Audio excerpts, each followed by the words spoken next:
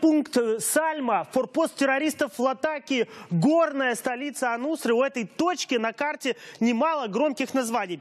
Освобождение населенного пункта в нескольких километрах от границы с Турцией. Вторая по-настоящему крупная победа правительственных войск Сирии после начала операции в стране российских ВКС. Напомню, первое громкое военное достижение последних месяцев, безусловно, это прорыв блокады аэропорта, аэропорта Кверис в провинции Латакия.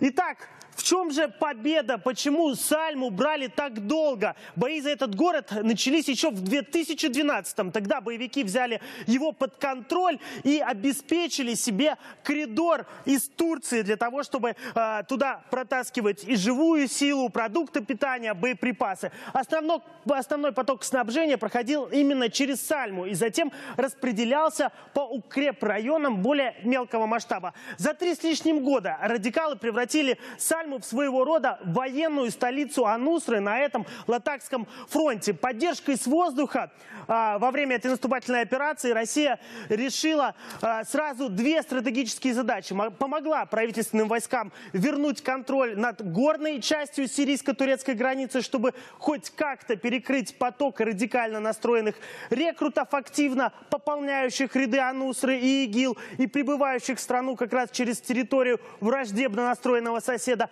Это первое. Второе – ликвидация боевиков с российским прошлым. Именно здесь, в Латаке, с самого начала сирийского кризиса воевали выходцы из Северного Кавказа.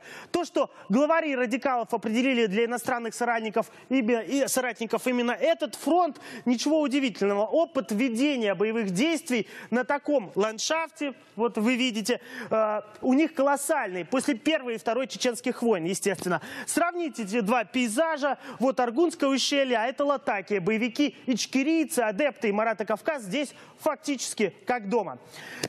Естественно, в Латакских горах террористам были оборудованы мощные подземные бункеры. Уничтожить эту инфраструктуру российским ВКС помогли бомбы Бетап-500, которые на несколько метров вглубь пробивают, пробивают даже горную породу. Эффект от российских ударов изначально был рассчитан на перспективу. Многие ждали результатов и резких перемен на линии фронта сразу же после старта операции, тогда как в приоритете для ВКС были военные цели в тылу противника то есть как раз укрепрайоны и пути снабжения.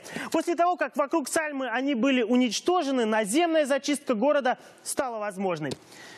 Сирийская армия при штурме населенного пункта применила уже ставшую для нее традиционной тактику и стратегию, а именно принцип вбивания клина в территории, под контролируемые боевиками. В Сальму заходили с трех направлений. Вот э, вы видите это на карте, которая за моей спиной. Вклиниваясь в позиции террористов и закрепившись на передовых рубежах, сирийские военные шаг за шагом расширяли зону своего контроля, вытесняя противника на всех направлениях в небольшие э, локальные котлы. И таким образом, разбивая силы радикалов на отдельные группы, блокировала их.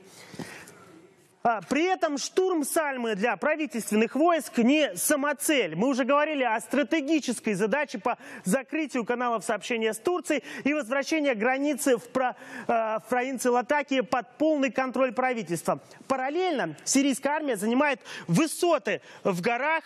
Э, здесь внизу уже на равнине находится провинция Идлиб. Естественно, на высоты подтянут артиллерию. Террористы, находясь в поле зрения сирийских корректировщиков, теперь не смогут комфортно перемещаться по этой равнине.